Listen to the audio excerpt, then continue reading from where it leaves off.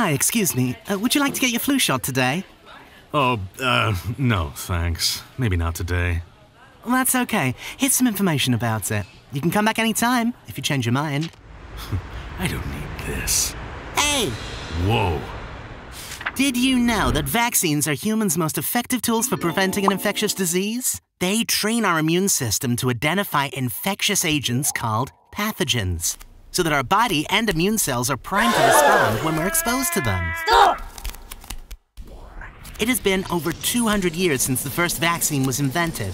25 infectious diseases can now be prevented by vaccines.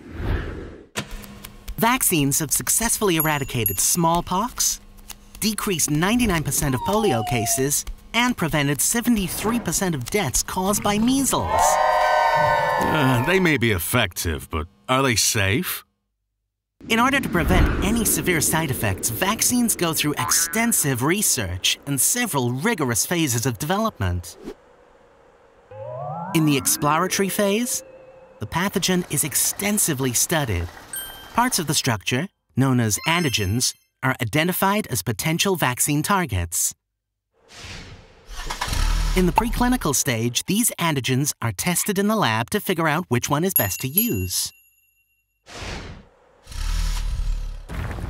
Then they're studied in animals to make sure they provide immunity and do not affect their health. Before the vaccine can be tested on a human subject, pharmaceutical companies must submit an application to the federal government that includes vaccine manufacture method, safety and efficacy data in animals, and a proposed plan to test on humans. The government reviews the application to ensure it does not cause foreseeable harm during clinical trials. Once the application is approved, the vaccine needs to pass human clinical trial in three phases. From phase 1 to phase 3, the trial expands from around 100 people to tens of thousands of people, with a range of ages and diversities.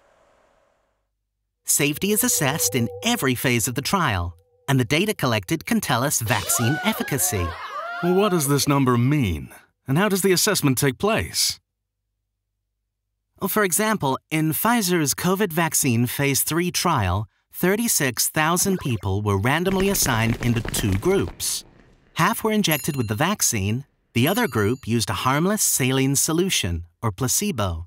Participants went back to their daily activities while researchers tracked their health. When they examined the data collected in the vaccine group, eight people were confirmed to have developed COVID, compared with 162 cases in the placebo group. This is how we arrived at a vaccine efficacy of 95%. Safety was monitored for months. Side effects were mild, mostly pain and redness oh. at the injection site, fatigue, and headache.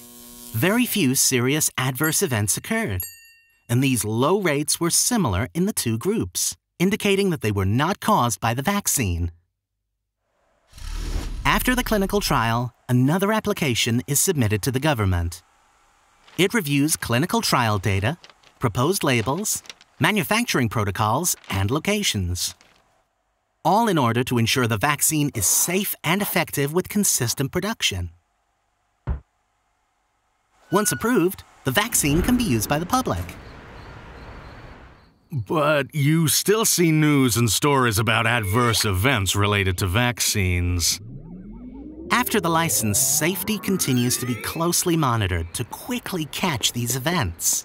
It is sensible to have concerns, but there can be other factors that contribute to an adverse event.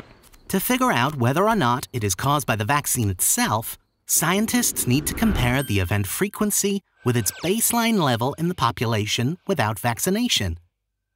Say if heart attacks were detected.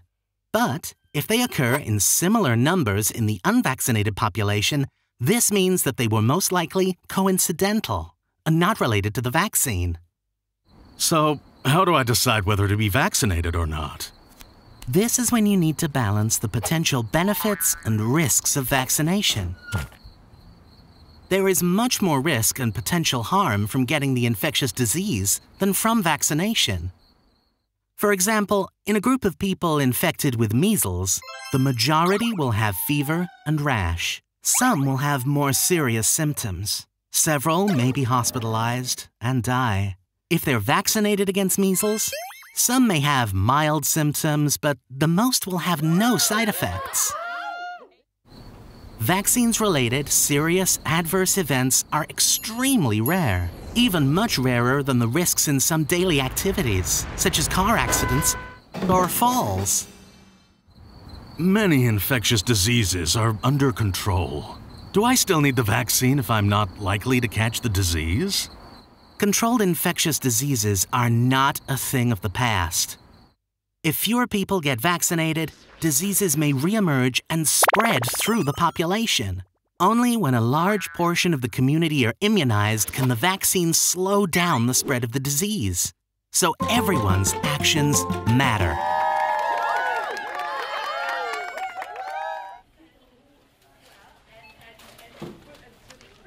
Hi.